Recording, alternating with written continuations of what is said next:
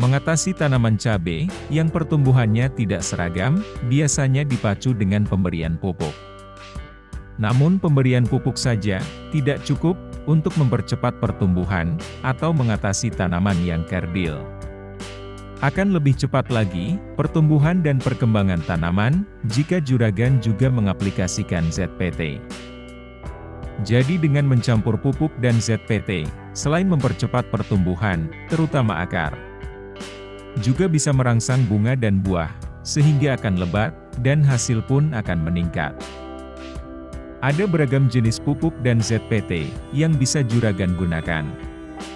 Namun kami rekomendasikan, gunakan campuran pupuk daun gandasil dengan ZPT atonik. Karena kedua produk tersebut memiliki beberapa keunggulan dan manfaat seperti berikut.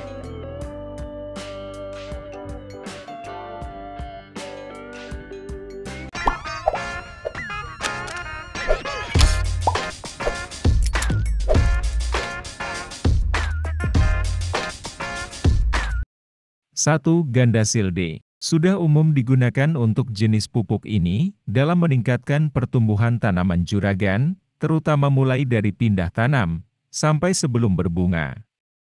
Kandungan utama pupuk ini, yaitu nitrogen 20%, fosfor 15%, dan kalium 15%, serta dilengkapi unsur makro sekunder magnesium 1%.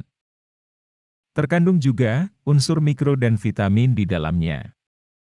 Pupuk foliar, yang bekerja untuk merangsang pertumbuhan batang, daun dan akar, tanaman cabai juragan.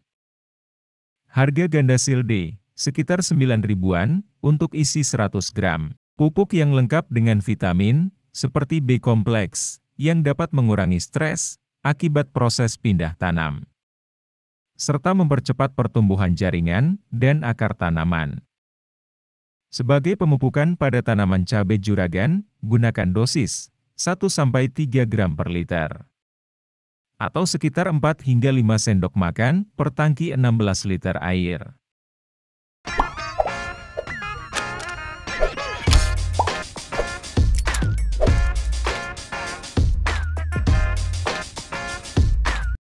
Dua Ganda silbe. Jika tanaman cabai juragan sudah berbunga, maka segera ganti pupuknya, yang semula dengan Gandasil D, menjadi Gandasil B. Harga pupuk Gandasil B, tidak jauh beda dengan Gandasil D, sekitar 10.000 kemasan 100 gram, sama-sama mengandung unsur mikro dan vitamin, yaitu mangan, boron, tembaga, kobalt dan zinc, serta vitamin aneurin, laktoflavin, dan nikotinik asid amin yang masing-masing unsur mikro tadi mempunyai perannya masing-masing dalam meningkatkan perkembangan tanaman cabai juragan.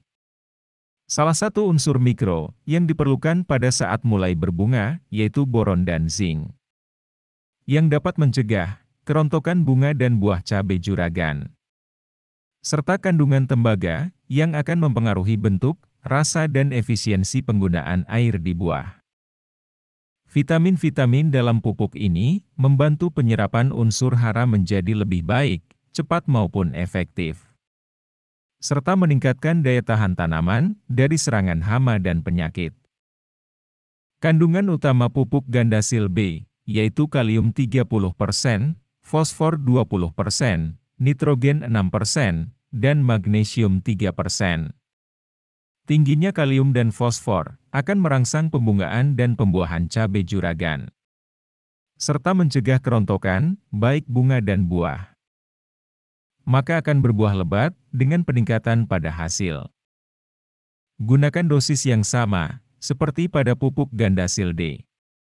Sekitar 4-5 sendok makan per tangki 16 liter. Hanya saja waktu pengaplikasiannya pada saat tanaman sudah berbunga sampai panen.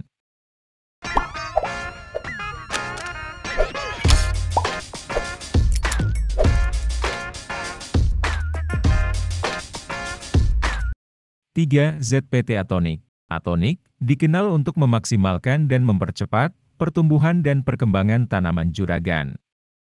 Karena termasuk dalam golongan zat pengatur tumbuh, dengan kandungan natrium ortonitrofenol 2 gram per liter, natrium paranitrofenol 3 gram per liter, dan natrium 5 nitroguaiacol 1 gram per liter.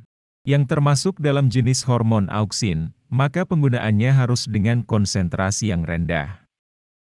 Apabila dengan konsentrasi tinggi, tidak memperbaiki tanaman juragan, justru bisa menjadi penghambat pertumbuhan dan perkembangan tanaman cabenya. Penggunaan ZPT atonik dapat mulai sebelum penanaman sebagai perendaman benih. Sampai tanaman cabai juragan panen. Cukup gunakan dengan konsentrasi 1 ml per liter atau sekitar satu tutup botol per tangki 16 liter.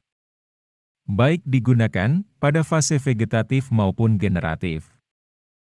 Harga 100 ml ZPT Atonik sekitar 17 ribuan. Pengaplikasian atonik bisa mempercepat pertumbuhan tanaman juragan karena mempunyai peranan dalam mempercepat proses metabolisme tanaman. Dengan mencampur pupuk gandasil dan ZPT atonik, pertumbuhan dan perkembangan tanaman juragan akan lebih cepat dibandingkan hanya aplikasikan pupuk saja. Penggunaan saat tanaman cabai juragan masih di fase vegetatif dengan gandasil D campur ZPT atonik, dosis seperti yang sudah kita jelaskan tadi. Yang bermanfaat untuk memaksimalkan dan merangsang pertumbuhan akar, batang dan daun. Sedangkan tanaman cabai juragan mulai berbunga dengan mencampur gandasil B dan atonik. Yang berguna untuk mencegah gugur bunga dan buah meningkatkan kualitas, berat dan ukuran buah cabai juragan. Pengaplikasian campuran pupuk gandasil dan atonik secara penyemprotan cukup dengan interval dua minggu sekali. Namun jika pemakaian masing-masing secara tunggal dengan interval penyemprotan tujuh hari sekali. Kiranya sampai sini saja informasi dan pembahasan kali ini. Semoga hasil tanaman juragan sesuai apa yang juragan harapkan. Jangan lupa like, subscribe, dan komen jika ada yang kurang jelas. Sampai jumpa lagi di pembahasan menarik lainnya.